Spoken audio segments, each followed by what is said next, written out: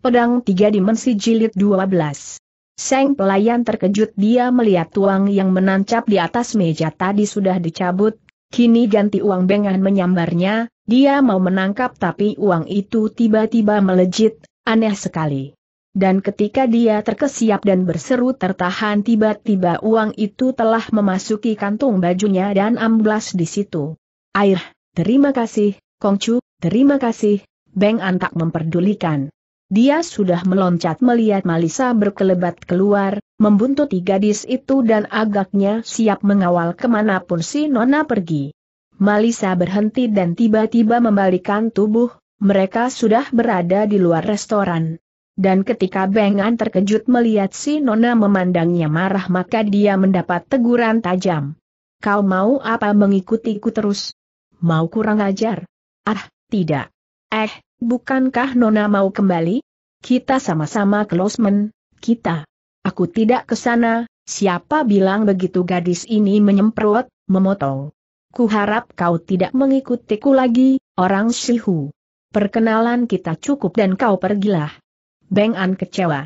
Nona mau ke mana perlukah kau tahu? Maaf, Beng An terkejut. Aku, sudahlah. Aku menunggumu di Losmen, Nona. Di sana kita bercakap-cakap lagi dan baik aku kembali dulu bengan menjura, si gadis mendengus dan tidak menghiraukan lagi, memutar tubuh Din berkelebat lenyap. Dan karena mengikuti terus gadis itu memang dirasa tidak sopan akhirnya bengan kembali dan menunggu Malisa di Lasmen, sebenarnya kecewa namun berharap ketemu lagi dengan gadis yang memikat hatinya itu. Beng An berdebar dan ingin bertatap muka, entah kenapa perasaannya begitu gundah ketika harus sendiri kembali ke Losmen.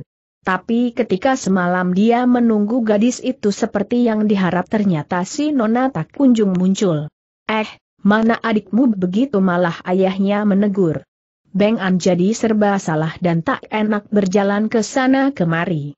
Adiknya ternyata keluar juga, baru dia tahu dan ketika dia jengkel menunggu dengan perasaan tak sabar maka kentongan di luar mulai dipukul orang.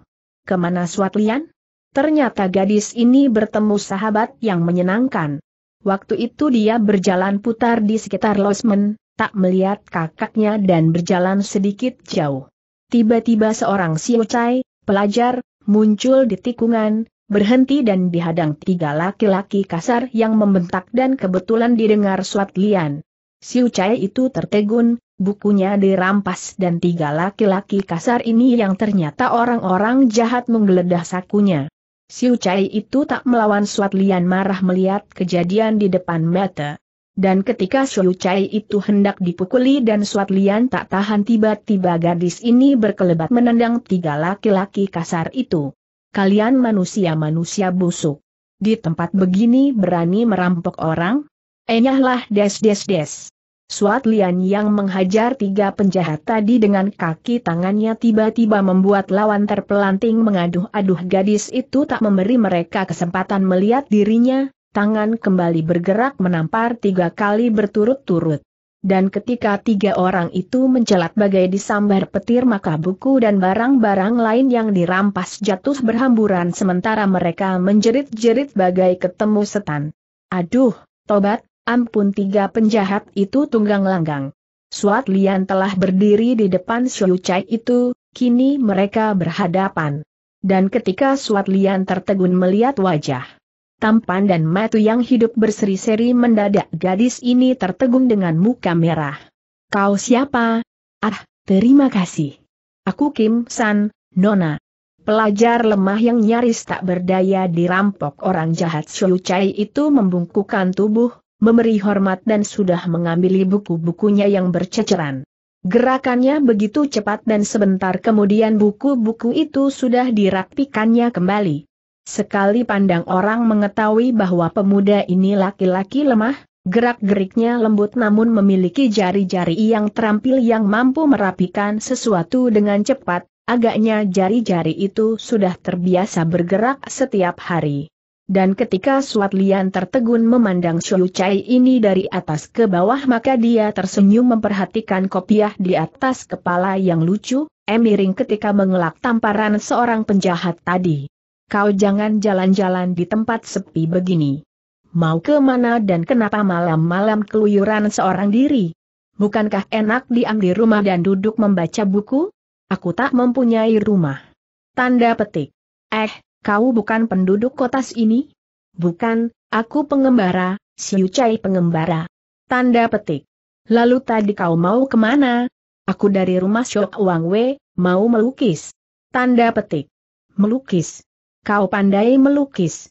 Ya, Aku bisa melukis sedikit-sedikit, Nona.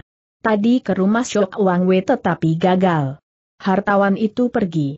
Sial dan Kaim Shou Chai ini yang menggerutu dengan senyum pahit tiba-tiba mengeluarkan piknya, alat tulis, mencoret-coret Nona mau ke mana? Kenapa keluyuran juga malam-malam? Bukankah kita sama dan ketika dia tertawa menghentikan coret coretnya maka Suat Lian terbelalak melihat wajahnya sudah digambar di situ, persis dan indah. Air, hebat. Kau pandai sekali. Siu Cai itu tertawa. Untukmu, Nona. Sekedar rasa terima kasihku atas pertolonganmu tadi. Suat Lian menerima. Dia kagum melihat kecepatan Siu Cai ini melukis, padahal tangan melukis sambil bicara. Kembali untuk kedua kali Suat Lian melihat kelincahan jari-jari Kim Siu Chai ini. Wajahnya terpampang di situ, cantik dengan mata bersinar-sinar. Suat Lian tertawa. Dan ketika dia memuji lukisan itu dan lawan tersenyum maka Suat Lian tiba-tiba teringat kakaknya. Kau mau melukis seorang lagi? Siapakah kakakku? Siu Chai ini mengerutkan kening. Nona penduduk kotas ini? Bukan, Aku menginap di Losmen KWIHOA aku dan kakakku ada di sana. Hektometer, Nona juga pengembara. Suat Lian tersenyum. Kim Tuako, apakah setiap orang yang kebetulan tidak berada di rumah sendiri kau anggap pengembara? Tidak, aku kebetulan bepergian saja dengan kakakku, juga ayahku. Kami mencari seseorang. Penjahat? Ya, penjahat, namanya Kim Emo Ueng. Siu Chai ini terkejut. Mukanya tiba-tiba berubah, tapi tertawa menutupi rasa kagetnya tiba-tiba dia berseru, Aih, Nona juga bermusuhan dengan pendekar rambut emas itu? Ada hubungan dengan Sam Kong Kiam? Wut Swat Lian tiba-tiba mencengkeram leher orang. Kau tahu dari mana, Kim Siu Chai? Kau pelajar gadungan? Aduh, aduh, lepaskan aku, Nona. Lepaskan dulu. Aku bukan Siu Chai gadungan, Aku benar-benar Siu Chai Tulen. Siu Chai yang tidak lulus ujian. Tapi kau tahu tentang Sam Kong Kiam kau pasti orang Kang Ou? Ah, apakah hanya orang Kang Ou saja yang tahu tentang itu, Nona? Bukankah hilangnya Sam Kong Kiam sudah diketahui orang banyak? Orang sekota raja sudah tahu tentang itu, dan aku juga tahu karena aku seorang pengembara yang berpindah-pindah dari satu tempat ke tempat lain. Suat Lian terkejut. Dia melepaskan cengkeramannya, memang alasan itu tepat dan dapat diterima akal. Siu Chai ini adalah pengelana, jadi tak heran kalau dia mengetahui kejadian-kejadian di luar. Dan karena hilangnya Sam Kong Kiam memang sudah bukan rahasia lagi maka Suat Lian percaya dan minta maaf melihat orang menyeringai dan merasa kesakitan. Tengkuknya berulang-ulang dipijit. Suat Lian merasa bersalah. Dan ketika dia membantu melantarkan kembali jalan darah di tengkuk Xiu Chai itu maka Xiu Chai ini ngambek. Aku tak berani melukis kakakmu. Salah-salah aku pun dihajar. Maaf, Suat Lian menyesal. Aku tak sengaja, Kim Tuako.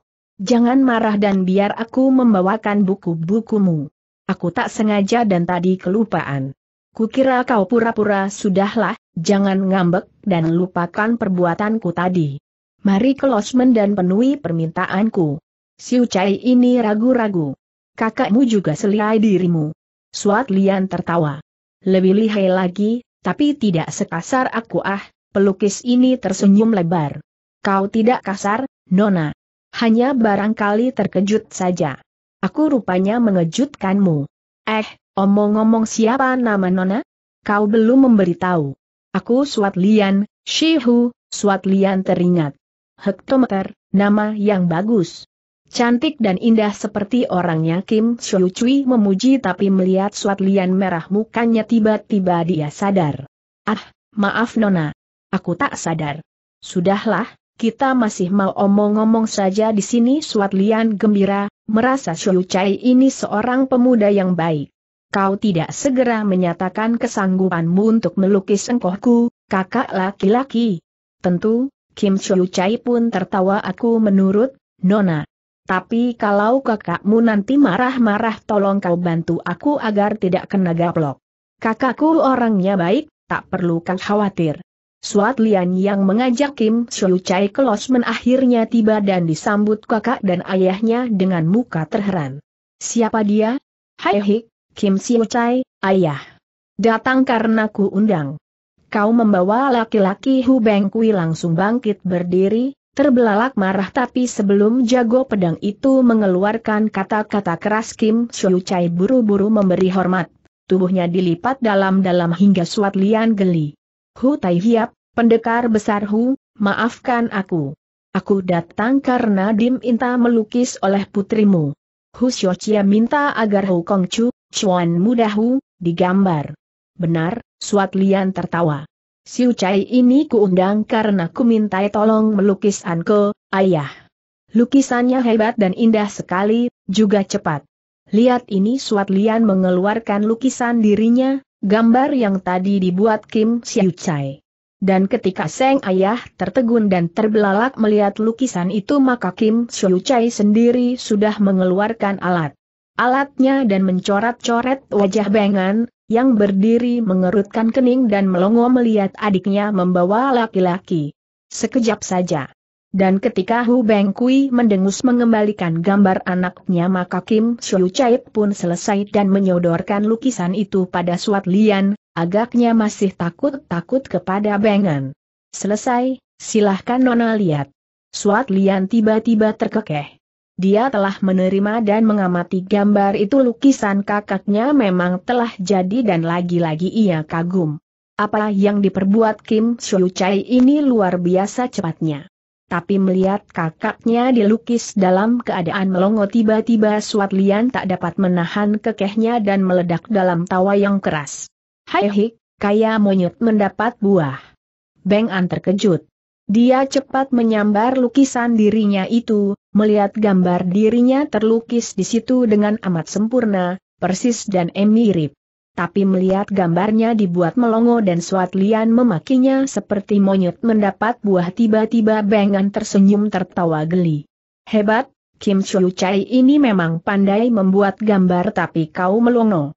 Seperti bocah melihat kembang gula. HMM, Barangkali Kim Siu Chai dapat merubahnya, Lian Moi. Kau selalu miledek dan menggoda kakakmu dan Beng An yang tersipu memandang Kim Siu Chai tiba-tiba sudah mendapat anggukan pemuda itu yang cepat mengambil gambarnya. Bisa, bisa, asal Kongcu tersenyum dan Kim Siu Chai yang kembali mencoret-coret merubah gambarnya lalu melihat Beng An tersenyum, menghapus bentuk yang lama dalam bentuk yang baru, bagian mulut itu. Dan ketika sekejap kemudian lukisan itu selesai dan kembali disodorkan pada Beng An maka pemuda ini kagum mendecah perlahan. Cocok sekali, hebat. Suat Lian juga kagum. Dalam waktu yang begitu singkat Kim Siu Chai ini telah merubah gambar. Lukisan itu bagus dan bersih sekali. Beng An tampak tersenyum dan gagah, lukisan ini memang mengagumkan. Dan ketika Bengan tertawa dan ayahnya juga kagum memandang lukisan hitam putih itu maka Kim Siu Chai menghadapinya. Tai Hiap juga minta dilukis? Ah tidak Hu Beng Kui terkejut. Aku tak minta dilukis dan tak senang dilukis lalu teringat sesuatu memandang putrinya pendekar ini menegur, Lian Ji, dari mana kau temukan Kim Siu Chai ini? Bagaimana dia menyebut Tai Hiap jago pedang ini memang curiga. Dia sebenarnya menyembunyikan diri, sedikit sekali orang yang memanggilnya Tai Hiap, pendekar besar, kebanyakan menyebutnya Wang Wei dan dia agak terkejut datang-datang pelukis ini menyebutnya Tai Hiap. Tentu saja dia mengerutkan kening, itu tentu ulah putrinya. Dan ketika dia memandang putrinya dengan tajam dan Suat Lian tersenyum tiba-tiba Kim Chai mendahului. Kami berkenalan secara kebetulan, Tai Hiap. Putrimu menolongku dari terkaman tiga orang jahat. Aku hampir dibegal. Benar, Suat Lian menyambung aku menolongnya ketika dia dihadang tiga laki-laki kasar, ayah buku dan uangnya mau dirampas. Hektometer begitu. Ya, begitu, Tai Hiap. Karena itu aku lalu melukisnya dan biar lukisan itu sebagai tanda terima kasihku, tapi aku sebenarnya lebih suka melukis benda-benda mati, pedang misalnya. Hu Beng Kui terkejut. Pedang? Ya, pedang, Tai Hiap. Terutama pedang-pedang pusaka. Lihat, Aku pernah mengenal beberapa pedang pusaka dan ketika tanpa diminta kembali sastrawan itu mencoret-coret kertasnya tiba-tiba dia telah melukis sebatang pedang yang berkedip dalam tiga warna, hijau kuning dan merah. Hu Beng Kui tertegun dan Bengan serta adiknya terbelalak. Seketika mereka teringat itulah Sam Kong Kiam, demikian hidup dan indah dilukis Kim Siu Chai ini. Dan ketika mereka bengong membelalakan mata, Tiba-tiba Bengan berseru, Sam Kong Kiam. Hu Beng Kui dan dua anaknya terkejut. Si jago pedang sendiri belum melihat Sam Kong Kiam. Hanya Bengan dan adiknya yang pernah melihat pedang itu, ketika bertempur dengan Kim Mo Eng alias Bu Hyong. Dan ketika Hu Beng Kui terkejut mendengar seruan anaknya, tiba-tiba dia melihat sesuatu yang aneh di balik kopiah Kim Siu Chai, rambut yang sedikit menyungai dan berwarna keemasan. Kau Kim Emo Ueng tiba-tiba pendekar itu membentak, langsung melejit dan melakukan cengkeraman kuat. Suat Lian dari kakaknya terkejut melihat gerakan ayahnya itu, Kim Chiu Chai juga terkejut. Kiranya Hu Beng Kui yang curiga ini bermata tajam. Sebenarnya dia melihat gerak-gerik yang aneh pada laki-laki yang mengaku sastrawan itu, matanya yang tajam melihat kilatan bercahaya pada mata lawan, itulah bukti hebatnya sinkang seseorang yang dirasa pendekar ini. Suat Lian dan kakaknya memang belum berpengalaman seperti ayah mereka, hanya Hu Beng Kui lah yang tahu. Maka ketika pendekar itu membentak dan sekilas ujung rambut keemasan tampak di balik kopiah lawan tiba-tiba pendekar ini telah mencelat dari duduknya dan langsung menyerang. Kelima jarinya menegang bagai jari baja, mencengkeram dan siap mencekik lawan. Kim Siu Chai berseru keras tapi ketika jari jago pedang itu hampir mengenai lehernya dan Kim Siu Chai berteriak gugup tiba-tiba seolah tak sengaja tubuhnya dilempar ke belakang menendang kursi. Aduh, tolong Siu Chia. Beruk sastrawan itu jatuh ke belakang, kursi menimpa dirinya tapi cengkeraman Hu Beng Kui luput. Pendekar ini kaget karena tak pernah serangannya gagal, apalagi kalau hanya menghadapi seorang Chai lemah. Dan ketika dia tertegun dan heran membelalakan mata, tahu-tahu Chai ini telah kabur meloncat ke pintu melarikan diri. Hu Chia, tolong, ayahmu mengamuk. Suat Lian bengong. Dia tak securiga ayahnya, tak melihat sembulan rambut di balik kopiah itu, tentu saja terkejut melihat ayahnya menyerang Xiu Chai ini. Tapi melihat Xiu Chai itu melarikan diri dan berteriak padanya agar menolongnya dari serangan ayahnya tiba-tiba Suat Lian berseru menyuruh ayahnya berhenti ah, jangan. Tak patut kau menyerangnya.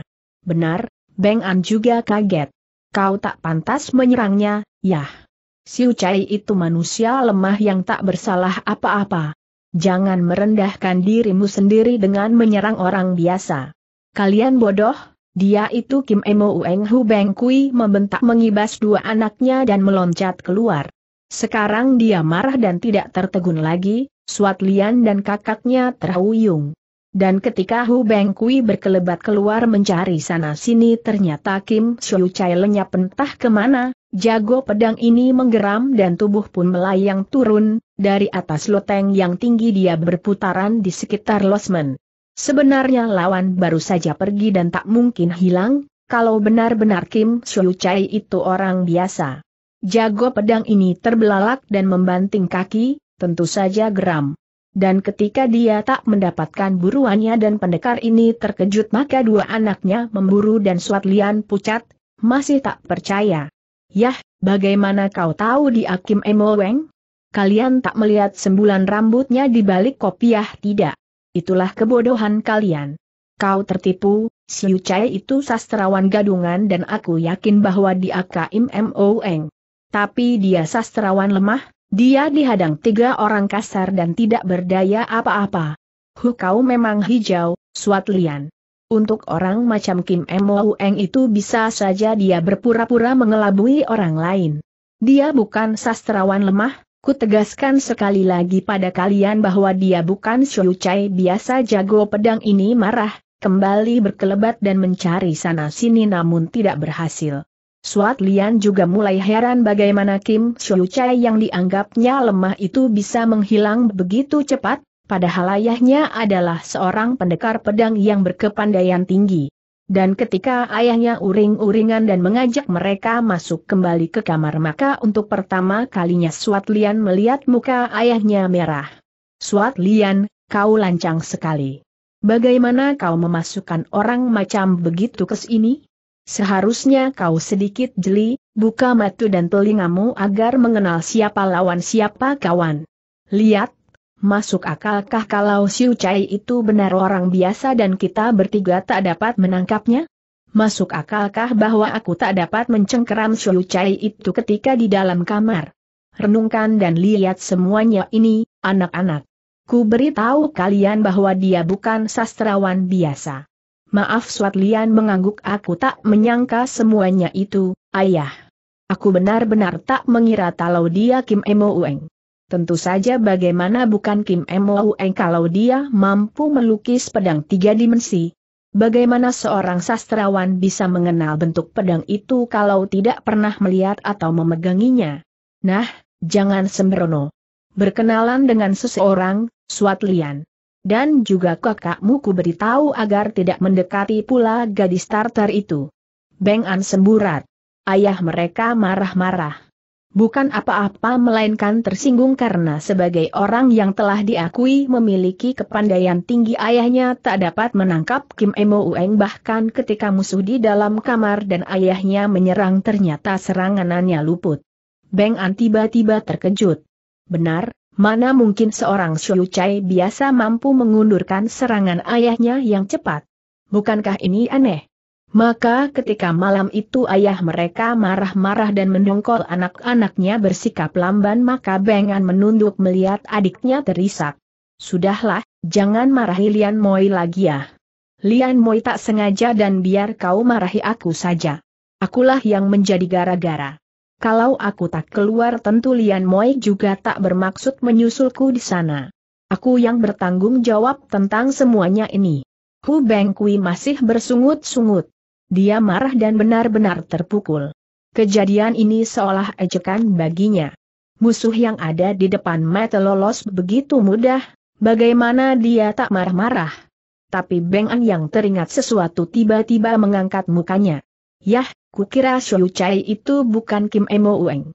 Kami melihat Xiu Chai itu lain dengan Kim Emo Ueng yang pernah kami temukan. Wajahnya tak mirip. Lian terkejut, tiba-tiba menyambung. Benar aku sekarang teringat, ya. Xiu Chai ini memang tidak mirip dengan Kim Emo Ueng yang melukayan ko itu. Hu Beng Kui terbelalak. Kalian yakin? Tentu, Yah dua anak itu hampir berbareng sama-sama berseru kami tahu bahwa Kim Mo Eng yang kami temukan wajahnya tidak seperti Kim Xiu Chai ini, Kim Mo Eng itu jelek, wajahnya kaku dan sama sekali tidak menarik. HMM, kau hendak mengatakan bahwa wajah Kim Xiu Chai ini lebih tampan dan lebih menarik. Benar, Beng An yang menjawab, adiknya merah dan tidak berani menjawab. Kim Xiu Chai ini jauh lebih tampan dan menarik dibanding Kim Mo Eng yang kami temui itu, ya. Jadi sekarang, kami ragu bahwa Kim Xiu Chai adalah Kim Mo Eng. Tapi rambutnya keemasan dan hanya Kim Mo Eng yang memiliki rambut seperti itu. Ini yang tidak kami lihat, tapi kami berdua berani menyatakan bahwa Kim Xiu Chai bukanlah Kim Mo Eng yang dulu kami temukan. Hektometer, kalau begitu siapa Hu Beng Kui bingung kalian yang salah atau aku yang tidak, benar. Kukira kau pun benar, ya. Tapi kalau hendak dinyatakan Kim Xiu Chai ini adalah Kim Mo Eng yang kami temukan maka itu tidak mungkin. Kami berdua hafal benar wajah Kim Mo Eng yang menyerang kami itu, dan Kim Chiu Chai yang kau anggap Kim Mo Eng itu tampaknya tidak membawa pedang kecuali pit dan alat lukisnya itu. Hu Beng Kui tertegun. Tiba-tiba dia sadar bahwa Kim Chiu Chai tidak bersenjata. Siu Chai itu hanya membawa pit dan buku-buku. Memang benar. Dan ketika dia mengerutkan alis dan semakin bingung untuk urusan ini maka pendekar itu dan berlama-lama, heran dan mulai menduga-duga siapakah sastrawan gadungan itu. Jika yakin Kim Chai adalah sastrawan gadungan, jelas Xiu Chai itu seorang berkepandaian tinggi yang berpura-pura. Dia yakin betul. Tapi karena anaknya berhasil membantah bahwa Xiu Chai itu bukanlah Kim Mo Eng akhirnya jago pedang ini mendengus dan jengkel terhadap semua teka-teki itu, duduk bersila dan akhirnya menghilangkan kejengkelan dengan membuang semua pikiran. Beng An dan adiknya disuruh tidur. Dan ketika malam, itu mereka sama-sama bingung memikirkan siapa Xiu Chai yang aneh ini maka Bengan tak dapat memejamkan mata karena teringat si gadis Tartar. Sama dengan sama dengan DWKZ 0 SMHN 0 Abu 0 sama dengan sama dengan. Di es ini tempatnya. Tiga orang itu telah berdiri di atas jurang malaikat. Hu Beng Kui bertanya pada anaknya, Suat Lian dan kakaknya mengangguk. Dan ketika pendekar itu melihat kiri kanan maka Bengan menunjuk ke bawah. Kim Emo Ueng dikabarkan tewas di sini, ayah. Namun ternyata masih hidup dan menyerang kami. Lihat, bekas-bekas pertempuran pun masih ada. Di es inilah dia melukaiku. Hektometer kalian tunggu di es ini. Aku mau melihat ke bawah Hu Beng Kui berkelebat, langsung terjun dan memasuki jurang, berjungkir balik dan tiba-tiba sudah berada di sisi jurang sebelah sana. Lalu begitu dia melekatkan telapaknya di dinding jurang maka pendekar ini sudah merayap turun dengan ringan dan cepat seperti cecak. CKCK, ayah memang hebat Beng An memandang kagum, melihat ayahnya menghilang dan sudah turun ke bawah dengan caranya yang luar biasa. Kedua telapak baik kaki maupun tangan menempel dan melekat di dinding jurang, dengan caranya itu pendekar ini merayap ke bawah, tentu saja Bengan kagum. Dan sementara ayahnya menyelidiki bawah jurang dengan care seperti cecak merayap maka Bengan dan adiknya duduk lenggut-lenggut menanti. Kau merasakan apa, Lian Boy? Kau masih melamun Kim Chai itu? Suat Lian terkejut. Tidak. Tapi wajahmu murung, Rupanya bayangan Kim Chai itu mengganggu hatimu. HMMM Swatlian Semurat Merah.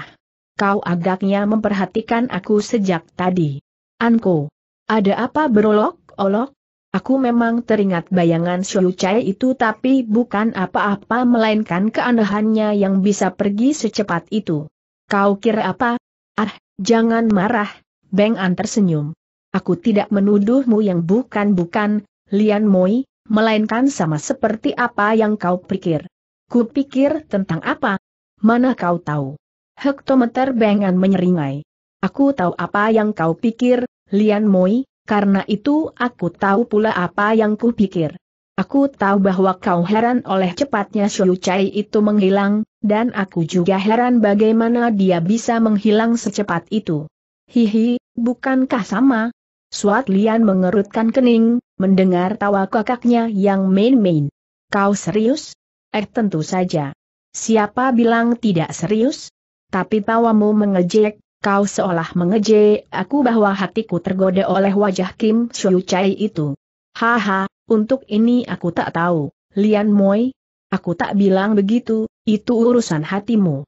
Aku hanya bilang bahwa aku pun heran bagaimana Xiu Chai itu bisa menghilang begitu cepat. Dugaan ayah benar, Xiu Chai ini pemuda misterius yang lain kali harus dicari. Aha, aku ingin menangkapnya lagi dan bertanya siapa dia itu sebenarnya. Suat Lian mengangguk aku juga penasaran. Tentang apa? Bahwa dia tak tertangkap dan kau tak dapat mengetahui siapa sebenarnya dia itu? Tentu saja, Kau kira apa? Kau? Eh Haswat Lian mencubit kakaknya ini keras-keras, melihat kakaknya tertawa lebar. Kau jangan mengejek aku, Koko.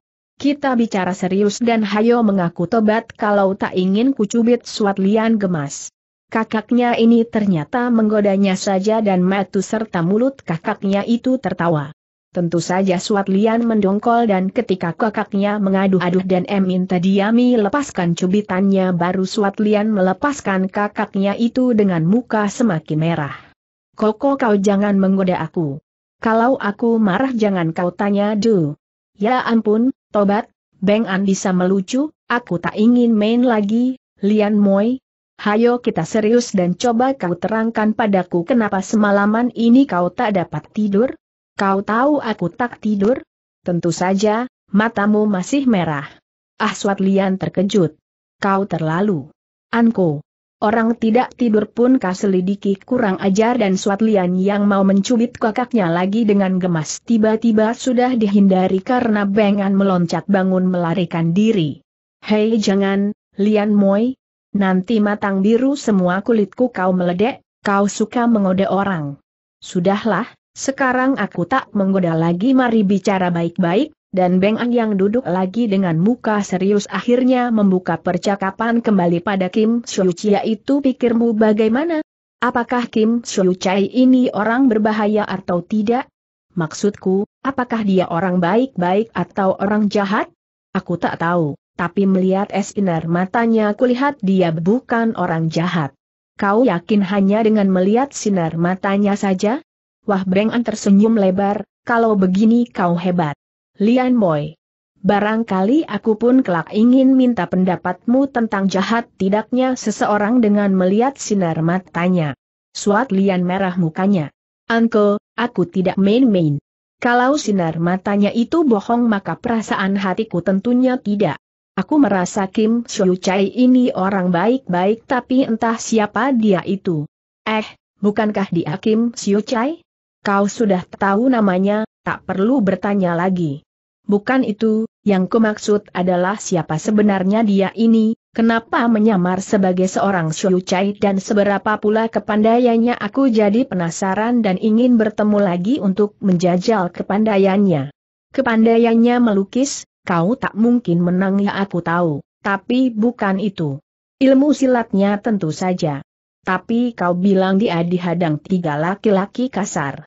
Itulah aku gemas setelah tahu terkecoh, Anko rupanya Kim Siu Chai itu suka main-main dan kelak ingin ku hajar dia itu. Wah-wah menghajar setelah menolong kakaknya tertawa. Mana mungkin ini? Lian Boy kalau ingin menghajar sebaiknya aku aku belum pernah menolong dan tidak janggal kalau menghajar Siu Chai gadungan itu.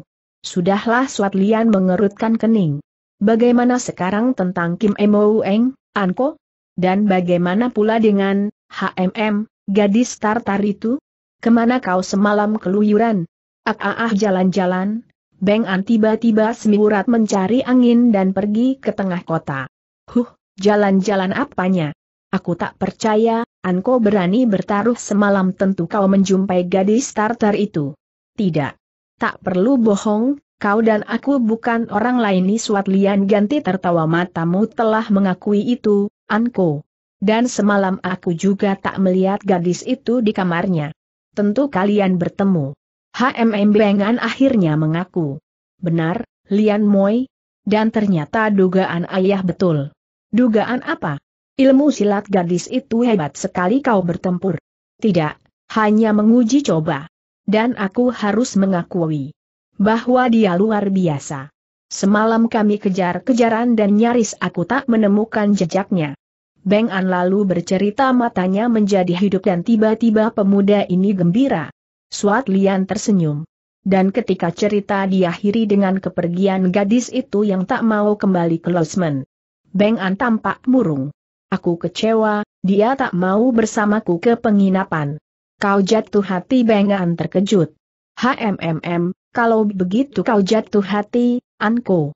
Memang. Sudah kuduga sejak semula bahwa kau terpikat pada gadis tartar ini. Dia memang menarik tapi sayang sombong. HMM, kukira tidak. Lian Moi. Melainkan angkuh karena itu rupanya pembawaannya bengan membela. Apa bedanya Seng adik berseru angkuh atau sombong sama saja, Anko. Kedua-duanya berarti merendahkan orang lain. Dan orang yang suka merendahkan orang lain bisa disebut sombong atau angkuh. Sudahlah, kita kembali pada Kim Emo Eng, Seng kakak tak mau berdebat, kemurungannya datang begitu membicarakan gadis starter itu. Kaita tak perlu membicarakan Kim Siu Chai atau dia lagi, Lian Moi. Sebaiknya kita pikir apakah kiranya Kim Emo Eng dapat kita temukan di sini. Aku pikir begitu, adiknya mengangguk, merasa pasti. Dulu dia datang ke sini menemui kita. Anko. Dan sekarang pun tentu akan bertemu lagi karena rupanya dia memiliki kepentingan di sini. Kepentingan apa? Siapa tahu. Aku menduga begitu karena aku teringat ketika dia muncul dia pun mau turun ke jurang dan keburu kepergok kita, barangkali ada hubungannya dengan guha di bawah jurang itu. Kau ingat? Beng antar tegun. Ya, benar, aku lupa. Kalau begitu guha di bawah itu tempat tinggalnya? Jangan-jangan ayah. SST Swatlian menggerakkan telunjuknya, Bang An tiba-tiba menghentikan kata-katanya karena dari dalam jurang mendadak terdengar bentakan dan lengkingan. Kejadian berlangsung cepat dan tahu-tahu doa sosok tubuh berjungkir balik keluar dari jurang. Hu Beng Kui muncul bersama Kim Emo Ueng. Dan ketika Suat Lian dan kakaknya terkejut melompat bangun tahu-tahu Kim Emo Ueng menyerang ayah mereka itu sambil memaki-maki. Hu Beng Kui, kau manusia jahanam. Ada apa mengejar-ngejar aku dan mengintai orang di dalam guha? Memangnya kau kurang kerjaan, keparat, ku bunuh kau. Kucincang tubuh musing. Sing dan pedang tiga sinar yang sudah dicabut Kim Emo Ueng membacok dan menyambar Hu Beng Kui tiba-tiba berkelebatan membuat Suat Lian dan kakaknya terbelalak. Mereka tak tahu bahwa ayah mereka ternyata mendapat lawan di dalam jurang, tadi Hu Beng Kui memasuki guha di bawah sana menjumpai lawannya ini. Kini lawan menerjang marah dan Hu Beng Kui mengelak ke sana sini. Pendekar itu terkejut tapi girang bukan main girang karena lawan yang dicari-cari ternyata ketemu. Maka begitu diserang dan dimaki dengan pedang menyambar-nyambar tiba-tiba pendekar ini berseru keras berlompatan sambil mengibas lengan. Kim Emo Eng, kau tak dapat lolos. Aku datang memang untuk meminta pertunggung jawabmu yang telah melukai puteraku. Aku tak peduli kau akan kubunuh dan tak dapat banyak cakap lagi, sing-sing dan pedang in menyambar lagi. Mengejar pendekar ini akhirnya membuat Suat Lian berteriak mencabut pedangnya. Yah, biar aku yang maju. Kau mundurlah. Tidak bengan tak kalah lantang. Aku saja yang maju ya. Biar ku balas kecurangannya dulu dan kau minggir. Hektometer, sebentar Hu Beng Kui mengelak gembira. Aku ingin tahu ilmunya dulu, Beng An. Kalau sudah cukup boleh ku pertimbangkan nanti. Tapi pedangnya itu berbahaya, ayah sebaiknya berpedang pula agar tidak celaka. Haha, tak gampang orang mencelakai ayahmu. Beng An. Lihat dan tunggu saja kelihayan ayahmu Wut Sing. Dan Hu Beng Kui yang hampir lambat mengelak berseru pada puteranya tiba-tiba berteriak tertahan ketika harus membanting tubuh bergulingan, angin sambaran pedang membuat pendekar ini terkejut dan harus menjauhkan diri. Nyaris dia terbabat. Dan ketika lawan mengejar dan berseru marah menggerakkan pedangnya maka pendekar ini sudah digulung dan dikelilingi bayangan pedang yang naik turun bagai naga menari. Yah pakai saja pedangku. Hati-hati Swatlian khawatir, betapapun dia cemas. Karena Swatlian tahu betul keampuhan pedang pusaka itu. Angin sambarannya saja cukup membabat putus benda-benda dalam jarak setombak. Ayahnya menolak dan coba menghindar dengan mengikuti gerakan pedang. Lawan menyerang kian cepat dan Ho Beng Kui berkali-kali berseru keras, dua kali nyaris dia tertusuk. Dan ketika tawan mempergencar serangannya dan jago pedang ini masih bertangan keong menghadapi lawan tiba-tiba Sam Kong Kiam menyambar dan kali ini merobek baju pundaknya disaling peki kaget putrinya. Bret ayah. Hu Beng Kui terkejut. Dia sebenarnya menyampok lengan bajunya itu telah menegang dan penuh terisi sinkang, tapi tetap juga terbabat. Tahulah dia bahwa ketajaman pedang memang luar biasa sekali, jarang ada senjata mampu membacok benda-benda yang dia pegang.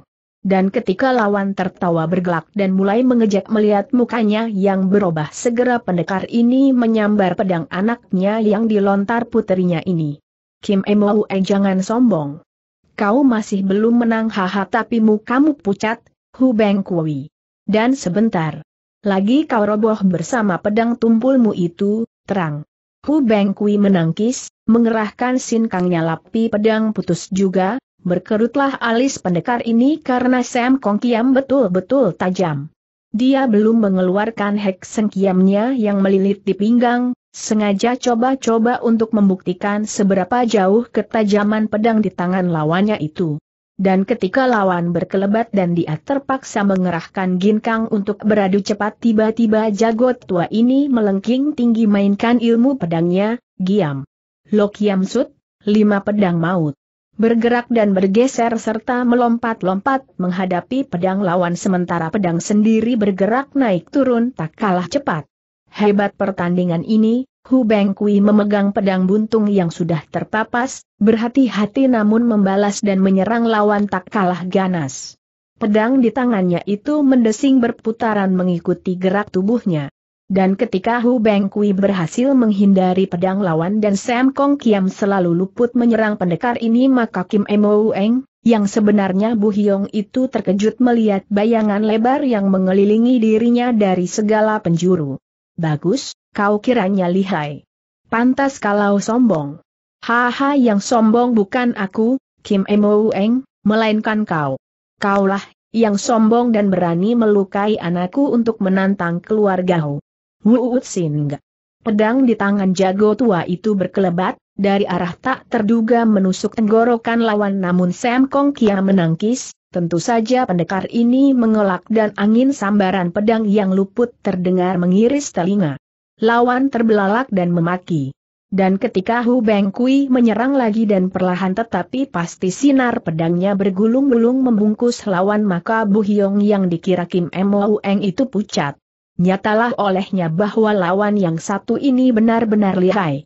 Hu Beng Kui memang jago pedang jempolan, dengan pedang buntung saja dia mampu mengelilingi lawan, tusukan dan tikamannya yang berantai serta bertubi-tubi membuat Bu Hyong sibuk.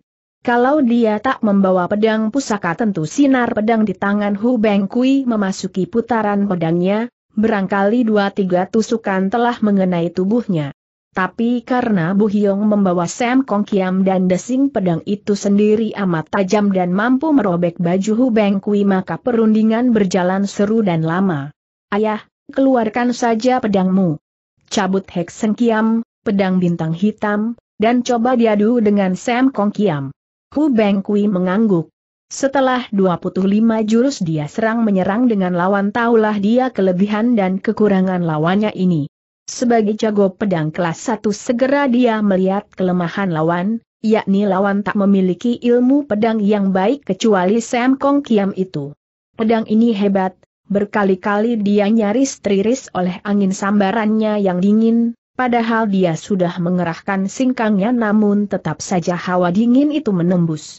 Dari sini dapat diketahui betapa berbahayanya pedang tiga sinar itu, tajam dan ampuh sehingga dapat memotong benda-benda keras seperti memotong agar-agar. Timbullah keinginannya untuk mengadu Hek Sengkiam dengan Sam Kong Kiam. Hek Sengkiam yang dipunyainya itu pun bukan sembarang pedang dan selama ini menjadi temannya dan mengangkat namanya sebagai pendekar pedang. Sam Kong Kiam itulah yang berbahaya, bukan ilmu silat lawan. Maka begitu puterinya berteriak dan Ho Beng Kui tertawa mendadak pendekar pedang ini melakukan jurus yang disebut payung berputar mengikuti awan. Awas bentakan itu sudah mengiringi gerakan pendekar ini. Pedang di tangan Hu Beng Kui lenyap, yang ada ialah putaran pedang yang bergulung lebar bagai payung terkembang, berputar cepat menyilaukan mata. Lawan terkurung dan bingung karena tak dapat menduga ke mana kira-kira gerakan selanjutnya. Gulungan pedang itu masih naik turun membentuk payung, indah dan hebat sekali karena bagian tengahnya adalah tubuh Hu Beng Kui sendiri yang memutar pedangnya. Tapi begitu jago pedang ini melengking menggetarkan jantung sekonyong-konyong bagian atas yang bergulung-gulung itu pecah tujuh bagian menukik ke bawah menusuk bertubi-tubi ke tubuh lawan yang sedang terbelalak. Siut siut sing. Cepat bukan main gerakan itu. Bu Hyong berteriak kaget melihat tujuh titik berkeredat menyambar tubuhnya, meluncur bagai patukan tujuh Raja Wali haus darah. Inilah serangan ganas yang bukan main berbahayanya. Tapi Bu Hyong yang marah memekik tinggi tiba-tiba merendahkan tubuh dan menangkis dengan Sam Kong Kiam. Terang-terang taang. Hu Beng Kui tertawa. Pedangnya putus menjadi tujuh, dibabat Sam Kong Kiam bagai agar-agar. Tapi begitu potongan pedang mencelat ke mana-mana mendadak semua kutungan pedang itu menyambar Bu Hyong, cepat dan mengejutkan karena menyambar dalam jarak begitu dekat. Bu Hyong berteriak dan lagi-lagi menangkis dengan pedangnya.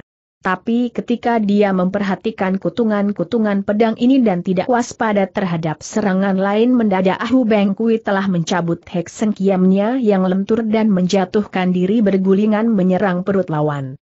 Kret! Gerakan itu luar biasa cepatnya. Hu Beng Kui si jago pedang ternyata liai, juga cerdik.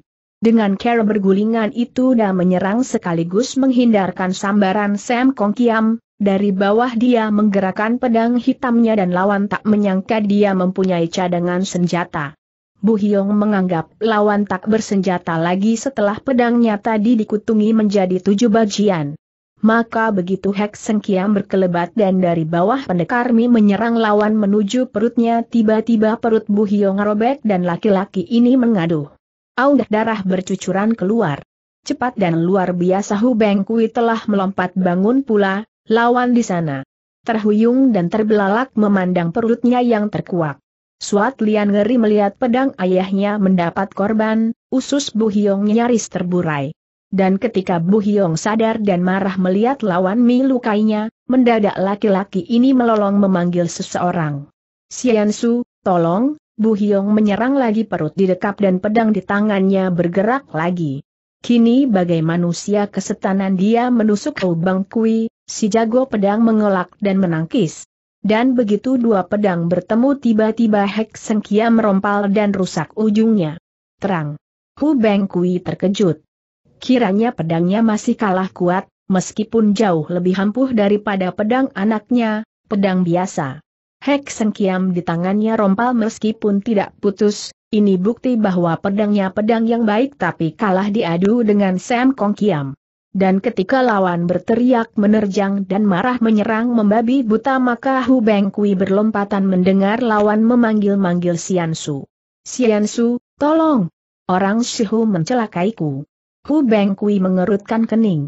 Dia tak mengerti siapa yang dipanggil itu, tak tahu bahwa yang dimaksud Bu Hyong adalah Bu Beng Siansu, manusia dewa yang amat sakti itu.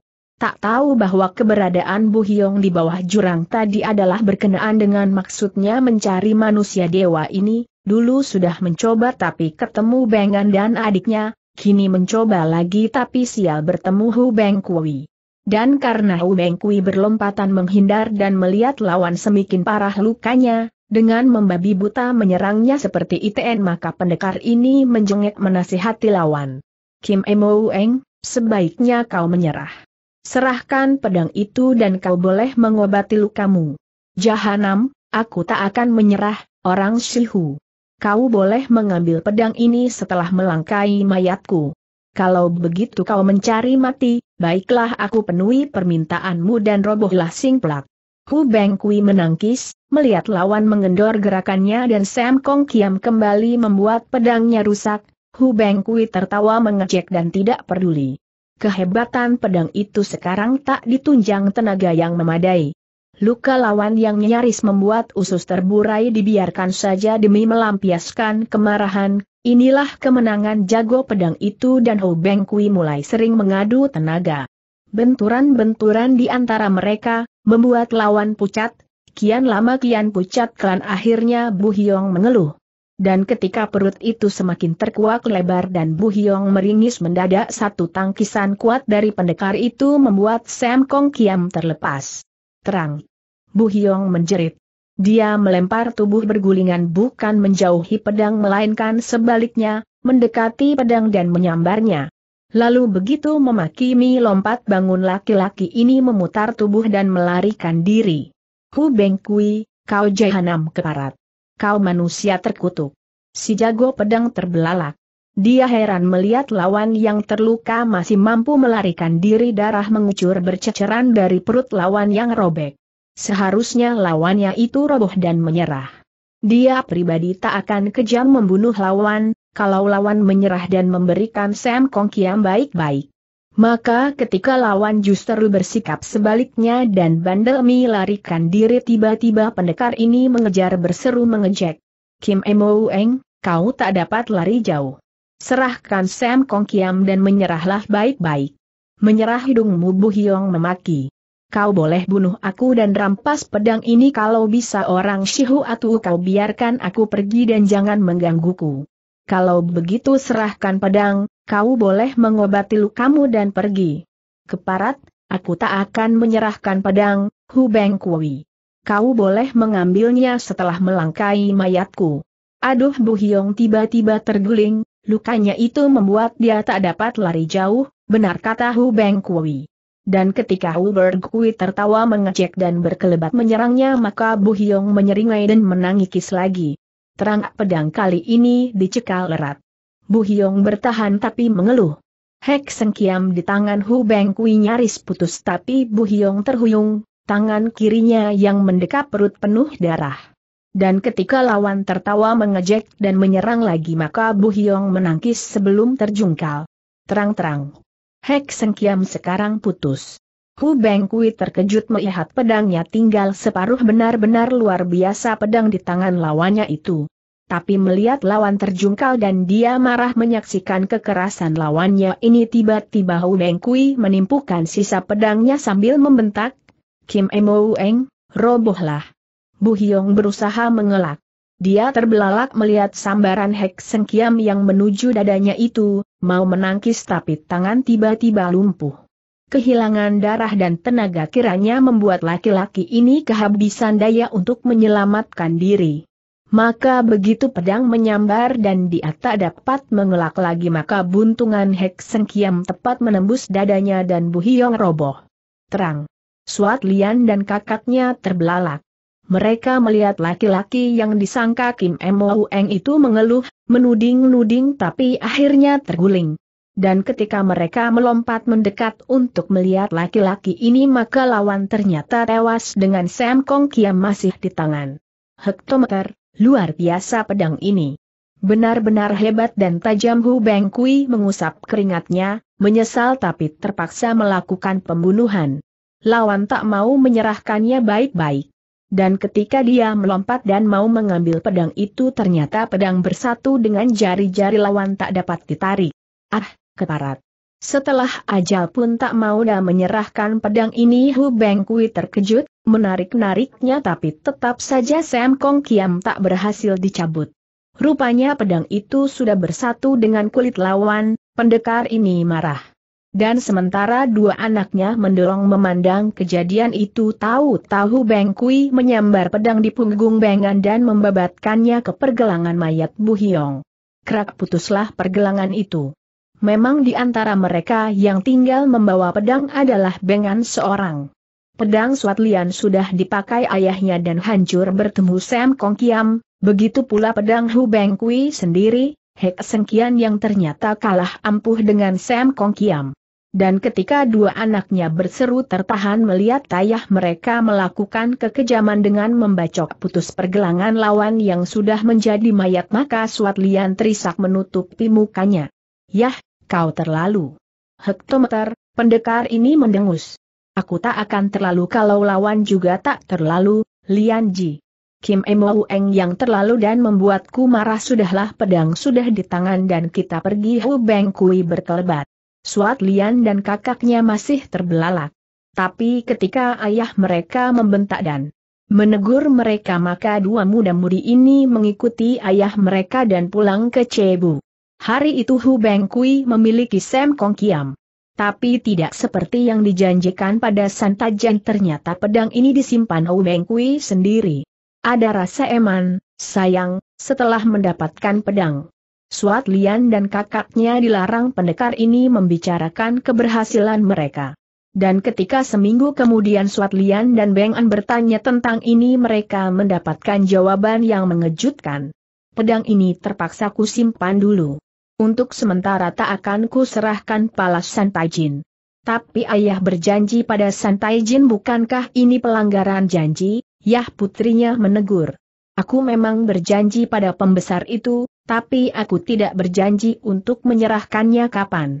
Apa maksud Tayah Seng Putri terbelalak, bukankah pedang itu bukan milikmu?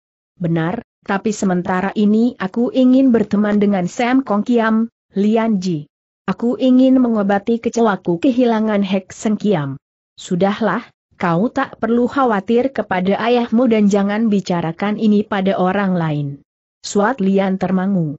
Hari itu dia diam berbisik-bisik dengan kakaknya dan mereka merasa khawatir dan ketika dua minggu kemudian mereka melihat tayah mereka sering mengusap-usap Sam Kong Kiam dan betapa setiap harinya pendekar ini berseri-seri memandang pedang itu maka Suat Lian cemas melihat sorot tamak memancar di wajah ayahnya.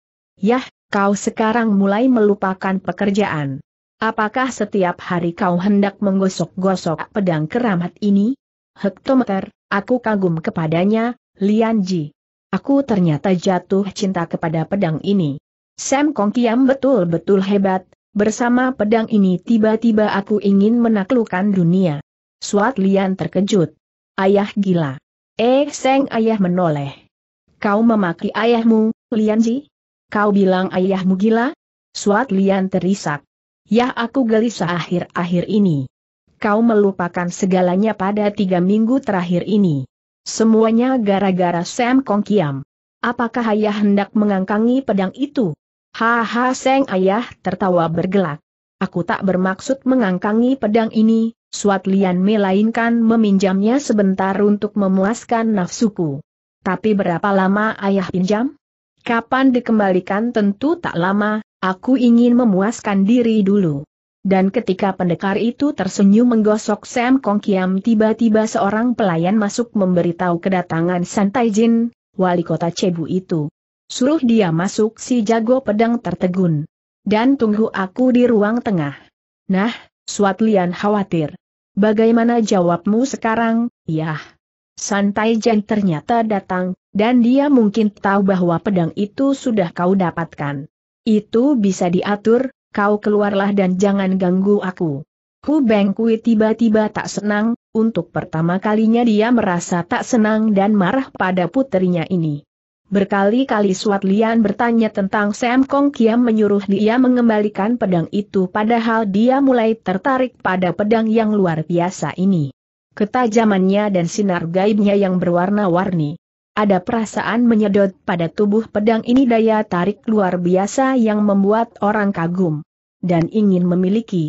Dan ketika pagi ini jago pedang ini menemui tamunya dan Santai Jin berseri memberi hormat maka pertanyaan langsung ditujukan pada persoalan pedang keramat itu. Maaf, ku dengar kabar Sam Kong Kiam tak berada lagi di tangan Kim Emo Ueng, Tai Hiap katanya Kim Emo Ueng terbunuh. Apakah Tai Hiap tahu tentang ini? Inilah pertanyaan memutar. Dengan cerdik dan halus pembesar itu menegur Hu Beng Kui, memang tak berani terang-terangan karena Hu Beng Kui bukanlah orang sembarangan.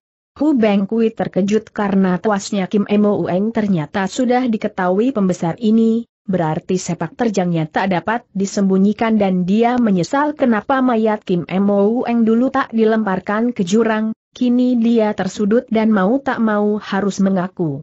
Hu Beng Kui bukanlah seorang pengecut yang ingin menyembunyikan perbuatan. Dan karena Santai Jin sudah mengetahui tewasnya lawan dan itu berarti tak mungkin dia mundur maka terus terang pendekar ini mengganggu.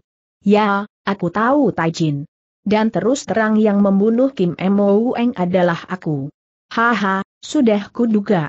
Kau memang hebat Tai Hiap sungguh hebat. Dan bagaimana dengan Sam Kong Kiam itu? Apakah Tai Hiap mendapatkannya dan lawan Tai Hiap? Aku sudah mendapatkannya, tapi sementara ini memang sengaja kusimpan. AHL Seng pembesar terbelalak. Kenapa begitu, Tai Hiap? Bukankah secepatnya harus diserahkan pada kasar? Seharusnya memang begitu, tapi aku ingin meminjamnya dulu, Dan ketika sang tamu tertegun dan tampak heran pendekar ini segera menyambung, Santai Jin, apa yang kulakukan ini demi menutup kekecewaanku yang kehilangan Kek Sengkiam. Perjuangan berat yang kulakukan demi memperoleh Sam Kong Kiam ternyata harus ku bayar cukup mahal. Pedangku Hek Sengkiam patah, aku belum memperoleh pengganti pedang yang sepelah istriku itu sendiri dan karena itu Sam Kong Kiam ku tahan. Kalau kelak pengganti hak sengkiam telah kudapatkan dan aku memperoleh gantinya tentu Sam Kong Kiam ku kembalikan dan aku tak akan menahan pedang itu. Tapi Kaisar mengharap-harap pedangnya. Sam Kong Kiam pedang keramat yang menjadi simbol jatuh bangunnya kerajaan. Ah itu cerita kosong, Taijin. Aku pribadi tak percaya tapi mengakui keampuhan Sam Kong Kiam yang memang luar biasa i.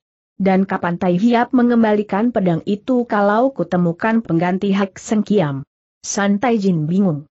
Tai Hiap, bagaimana kalau kuusulkan pada Sri Baginda agar mengganti pedangmu dengan pedang pusaka lain di istana atau, HMM, maaf, bagaimana kalau diganti dengan uang dan emas permata? Haha, aku tak butuh uang atau emas permata, Taijin. Hartaku sudah lebih dari cukup untuk hidup sampai anak cucuku. Tidak, aku tak ingin emas permata tetapi setuju kalau ada pedang yang hebat sebagai pengganti pedangku yang kalah dengan Sam Kong Kiam itu. Kalau begitu aku akan mi lapor pada Bu Chiang Kun dan Bu Chiang Kun akan menyampaikannya pada Sri Baginda. Boleh, tapi... Santai Jin keburu girang, memotong percakapan orang. Dan aku akan mohon agar kau mendapat kedudukan pula, Tai Hiap. Barangkali kau suka akan ini dan Kaisar mengangkatmu sebagai kepala pengawal, di istana. Hektometer, kau dengar aku dulu, Taijin. Aku sebenarnya tak mengharapkan segala macam kedudukan meskipun aku juga tak menolaknya. Itu anugerah tapi melanjutkan kata-kataku tadi baiklah kau dengar bahwa pedang yang bakal menggantikan Hekseng Kiamku adalah sebatang pedang ampuh yang berani diadu dengan Sam Kong Kiam kalau tidak rusak atau patah diadu dengan pedang itu barulah semuanya ku terima. Santai Jan terkejut. Apa, Tai Hiap minta pedang yang seperti Sam Kong Kiam itu? Ah, mana ada, Tai Hiap? Bukankah ini permintaan mustahil? Di dunia ini Sam Kong Kiam tidak memiliki saudara kembarnya. Kalau Tai Hiap minta yang seperti itu tentu saja Sri Baginda tak sanggup. Aku tak minta Sam Kong Kiam kedua, melainkan M Inta pedang yang ketajamannya sama dengan pedang ini. Sama saja. Di dunia ini tak ada ketajaman pedang yang melebihi Sam Kong Kiam itu, Tak Hiap. Tai Hiap meminta yang di luar batas kemampuan. Hektometer, belum tentu, Jin. Kau jangan terburu-buru mengatakan begitu. Sebaiknya kau pikirkan dulu dan biar sementara ini Sam Kong Kiam di sini. Santai Jan tertegun. Apa yang dikata Hu Beng Kui ini seolah ultimatum baginya, dengan halus dan amat pintar si jago pedang itu memiliki Sam Kong Kiam. Memang di mulut tidak mengatakan memiliki namun meminjam, sampai suatu ketika datang pedang yang sama ampuh seperti Sam Kong Kiam pengganti Hak Seng Kiam. Dan karena pedang itu diatakan disimpan dan Santa izin Dim Inta untuk mencari pengganti hak Sengkiam sebelum pedang tiga dimensi dikembalikan ke Kaisar maka pembesar ini kecewa dan marah. Namun Santa izin bukanlah pembesar yang gegabah. Pembesar ini tahu benar kesaktian Hu Beng Kui. Bahkan dengan tuasnya Kim Mo Eng terbuktilah. Kehebatan pendekar pedang ini, berarti Hu Beng Kui jauh lebih lihai dibandingkan Kim Mo Eng. Dan begitu si jago pedang sudah menyatakan meminjam dan dia harus tahu gelagat akhirnya dengan mulut tersenyum tapi hati mendongkol bukan main pembesar ini pamit dan menyatakan kesanggupannya, bahwa dia akan mengganti Hek Sengkiam. Diam-diam pembesar ini mulai tidak senang. Dan ketika beberapa hari kemudian dia datang di kota raja melapor pada Bu Chiang Kun maka panglima tinggi besar yang berwok ini gusar. Apa, orang Sihu itu tak mau mengembalikan Sam Kong Kiam? Dia minta pengganti hak Seni Kiam yang sama ampuh dengan Sam Kong Kiam? Keparat, orang ini mencari-cari alasan, Taijin. Biar ku datangi dia dan ku gempur bersama seribu pasukan. Aduh, nanti dulu santai Jan terkejut. Jangan terburu-buru, Ciano Kun. Jangan tergesa-gesa. Hu Beng Kui amat hebat dan liai, bisa geger kotaku nanti. Aku tak peduli pokoknya pedang itu kembali dan orang itu harus diberi pelajaran. Ah ah, Cuciang Kun tiba-tiba muncul, melihat ribut-ribut itu. Ada apa ini, Ciang Kun? Kenapa marah-marah? Eh, bukankah ini santai Jain dari Cebu? Maaf benar aku Ciang Kun. Aku baru datang mengabarkan kembalinya Sam Kong Kiam. Wah, mana itu? Mana Sam Kong Kiam? Di tangan Hu Beng Kui, dia baru saja membunuh Kim Emo Ueng. Cu Chiang Kun terkejut. Disebutnya nama Kim Emo Ueng membuat alis Panglima tinggi kurus itu berkerut dan semakin berkerut ketika Santai Jin mengatakan Kim Emo Ueng terbunuh. Maka ketika dia duduk dan meminta agar pembesar itu menceritakan kepadanya maka Santai Jin segera mengulang apa yang dia ketahui. Hampir sebulan lalu Kim Emo Ueng tewas. Hu Beng Kui inilah yang membunuh Sam Kong Kiam dirampasnya. Tapi ketika pedang Dim Inta ternyata Hu Beng Kui minta tukar, katanya pedangnya sendiri, Hek Seng Kiam yang sudah mengikutinya bertahun-tahun hancur bertemu Sam Kong Kiam. Karena itu dia minta pengganti dan untuk sementara ini Sam Kong Kiam dipinjam. Dipinjam cucian kun terbelalak. Itu omong kosong belaka, Taijin. Itu alasan Hu Beng Kui untuk mengangkangi pedang. Itulah, aku juga menduganya begitu, Ciang Kun tapi karena bertindak keras terhadap jago pedang ini aku tak berani maka aku datang ke sini untuk melapor semuanya pada Bu Ciang Kun. Hektometer, bagaimana pendapatmu, rekan Bu? Apa yang ingin kau lakukan? Aku ingin mendatanginya, menggempur bersama seribu pasukan. Dan membuat gegar di kota Cebu ternyata Cu Ciang Kun juga tak setuju. Tidak, ku dengar orang Shihu ini orang baik-baik, rekan Bu. Sebaiknya kita datangi saja dan bicarakan semuanya dengan baik-baik. Tapi dia keras kepala. Sebagian besar tokoh persilatan memang begitu, tapi kita coba membujuk. Kalau tak berhasil hektometer, kita lapor kaisar. Baiklah, mari, dan Bu Chiang Kun yang bangkit berdiri dan hari itu juga mengajak rekannya ke Cebu segera menemui Hu. Beng Kui yang kebetulan ada di rumah, lagi-lagi menggosok penuh kagum pedang tiga dimensi yang memikat hatinya itu. Maaf, Bu Chiang Kun langsung bicara pada pokok persoalan, baru kali itu berhadapan dengan jago pedang yang lihai ini, diam-diam kagum tapi juga mendengkol. Apakah benar Sam Kong Kiam telah berada di tanganmu, Teh Hiap? Kenapa, kau menyimpannya dan tidak segera memberikannya kepada istana? Hu Beng Kui tersenyum. Kau Bu Chiang Kun? Ah, gagah dan jujur, suka bicara belak-belakan. Benar, aku juga tak menyangkal pertanyaanmu, Cian Jikun. Sam Kong Kiam telah berada di tanganku dan lihatlah buktinya serat. Pedang tiga dimensi berkedap, sinar menyilaukan mata, tampak di ruangan itu dan mendadak semua lampu padam. Keadaan menjadi gelap gulita dan kini sinar terang cemerlang dari pedang itulah yang memancar. Tamu jago pedang ini memang datang di malam hari. Muciang Kun dan Cuciang Kun terkejut, mereka pribadi baru kali itu melihat pedang keramat ini. Pengaruhnya benar-benar luar biasa dan hawa dinginnya serasa menusuk jantung. Dua panglima itu tersirap.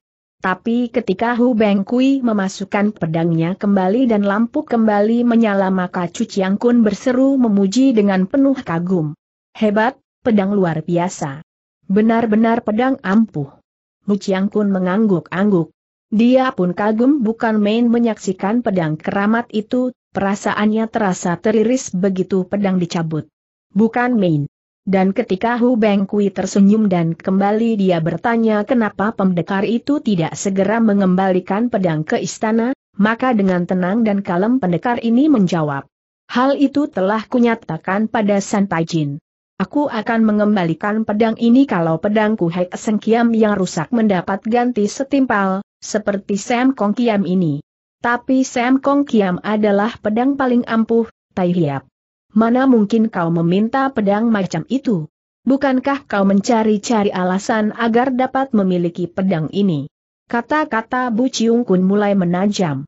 Penglima tinggi besar ini memang dikenal sebagai seorang yang mudah marah, berangasan dan keras. Itulah sebabnya dia cepat mendongkol mendengar Hu Beng Kui menahan Sam Kong Kiam, baru menyerahkan pedang kalau hak Seng Kiamnya sudah ditukar, ditukar dengan pedang seampuh Sam Kong Kiam, padahal tak ada pedang lain di dunia ini yang dapat menandingi Sam Kong Kiam.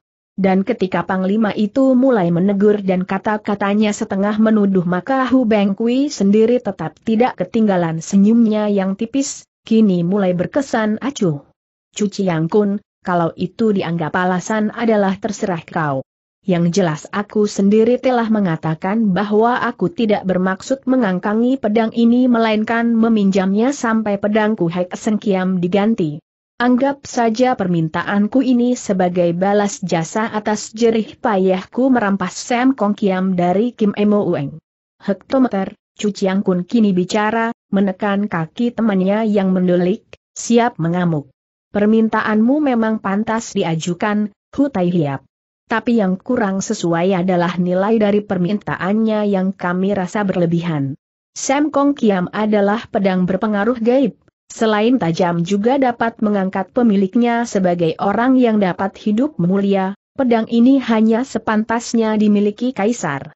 Apakah Tai Hiap juga ingin menjadi kaisar dan hidup menikmati kemuliaan seperti itu? Haha, aku pribadi tak percaya pada pengaruh gaibnya, Cuci Yang Kun. Aku hanya percaya pada ketajamannya yang luar biasa. Benar, tapi pengaruh gaibnya mampu memadamkan lampu atau cahaya lain yang coba menandingi.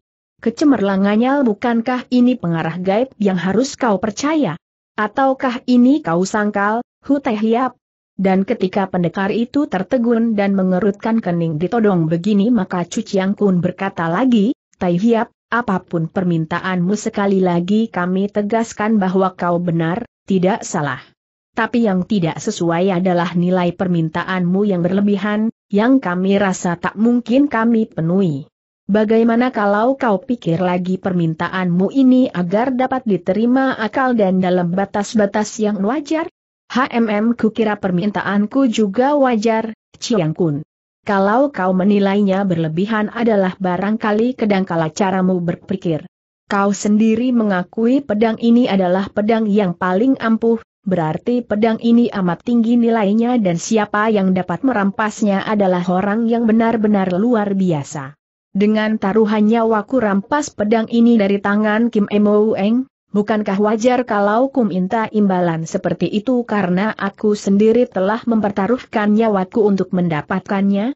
Ataukah permintaanku yang masih berwujud benda itu juga di atas nilai nyawaku yang ku pertaruhkan di sini? HMM, coba ganti kau pikir, Chiang Kun. Apakah nilai permintaanku ini berlebihan atau tidak?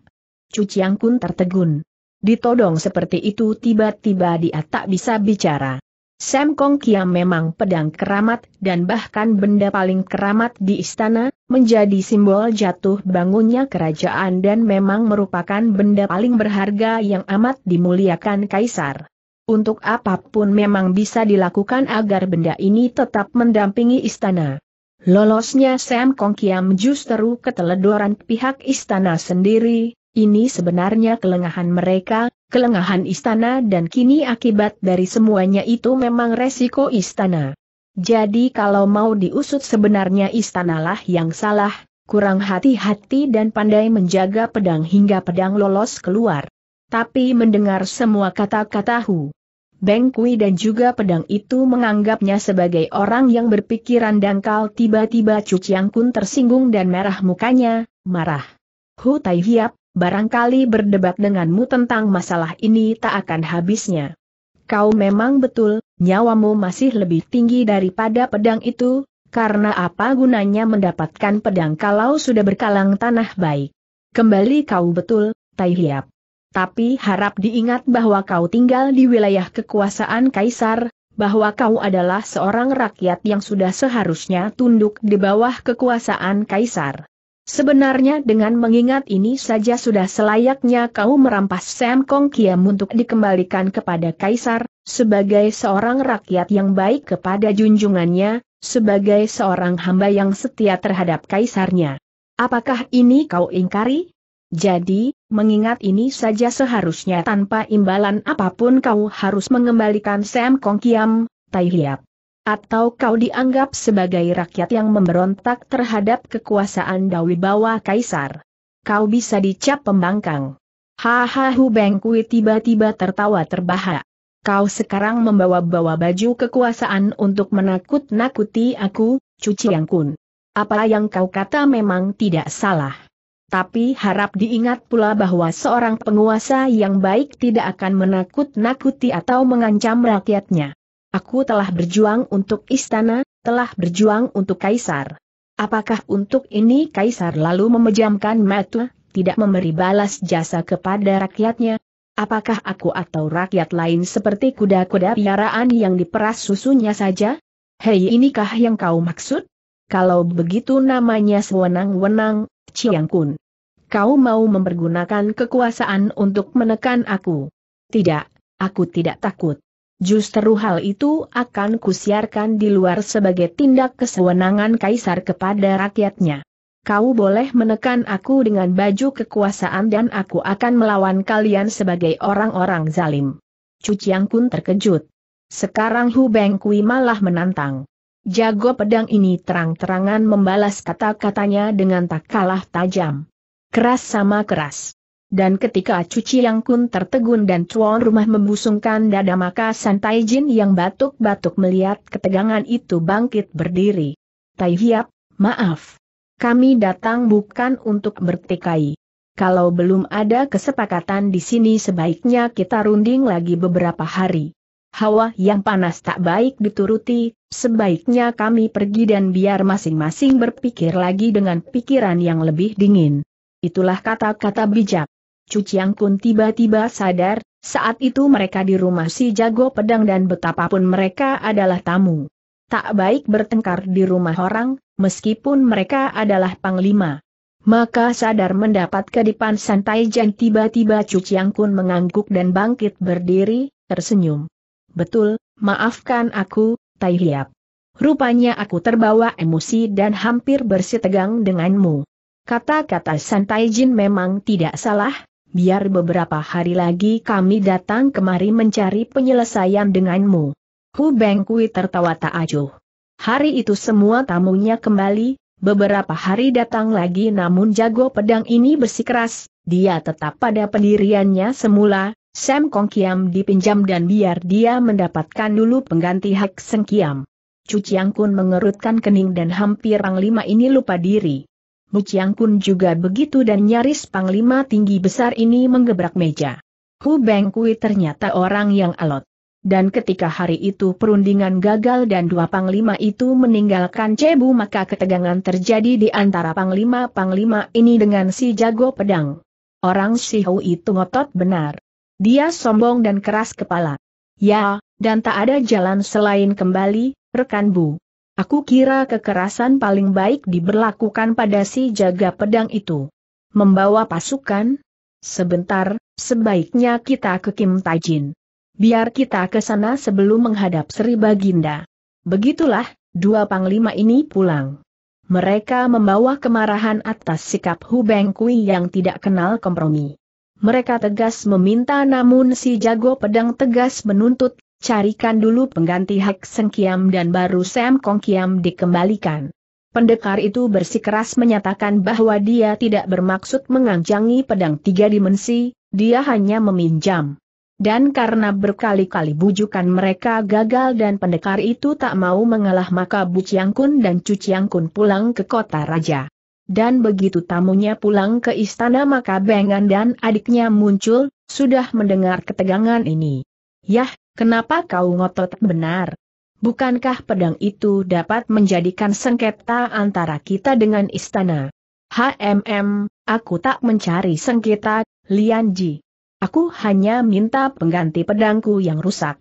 Kalau mereka tak dapat memberi berarti mereka kurang berusaha dan tidak menghargai keberhasilanku. Tapi ayah dapat dianggap mengangkangi pedang. Itu terserah mereka, toh aku berjanji akan mengembalikannya begitu pengganti hak sengkiamku dapat. Tapi pengganti yang kau minta terlalu berat, ya. Bukankah tak ada pedang lain yang seperti Sam Kong Kiam?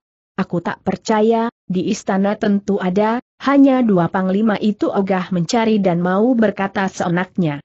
Suat Lian dan Bengan bingung. Yah, kalau begitu bagaimana jika Kaisar mendengar ini? Bukankah penolakanmu dianggap pemberontak? Haha, jangan bicara tentang pemberontakan, Beng An. Aku tidak bermaksud memberontak atau melawan Kaisar. Aku hanya minta pengganti hak Sengkiam dan mereka harus berusaha. Jangan bilang tak bisa kalau belum dicari. Sudahlah, kalian pergi dan tak perlu mengganggu aku Seng Ayah mengusir. Dua anak itu mundur ke belakang dan kini Bengan pun tak senang melihat sikap ayahnya itu. Betapapun dia melihat sikap tak wajar pada ayahnya ini, berkali-kali ayahnya mencium Sam Kong Kiam dan ayahnya itu tampak tergila-gila benar pada pedang yang ampuh ini. Sebagai putra seorang jago pedang tentu saja Bengan tahu bahwa ayahnya jatuh hati, ayahnya menemukan barang yang cocok bagai menemukan istri baru saja, istri yang segala-galanya mencocoki dan Bengan khawatir. Kaion lama ayahnya akan kian terpikat dan gandrung wuyung saja. Ini berbahaya. Dan ketika sebulan kemudian persoalan itu masih ngebang dan hangat-hangat panas mendadak Santai Jain yang menjadi wali kota Cebu itu diketemukan tewas dan mati dibunuh orang. Yah! Santai Jain tewas terbunuh. Apa kata istana kalau hal ini dihubungkan dengan Sam Kong Kiam? Hu Beng Kui terkejut. Terbunuh. Ya, dia mati terbunuh, ayah. Semalam katanya didatangi penjabat dan istana bisa mencurigai kita. Hektometer, aku tak peduli pada segala macam kecurigaan. Kalau mereka berani menuduh tanpa bukti-bukti tentu aku akan menuntut. Benar saja, kejadian ini membawa buntut panjang. Muciang Kun dan Cuciang Kun datang, mereka menunjukkan sikap tidak bersahabat pada si jago pedang itu. Hu Beng Kui berkerut kening. Dan karena urusan lama merasa belum terselesaikan dan kini urusan baru datang dengan tuasnya santai Jan maka Bu Chiang Kun menggebrak meja ketika pembicaraan meningkat panas.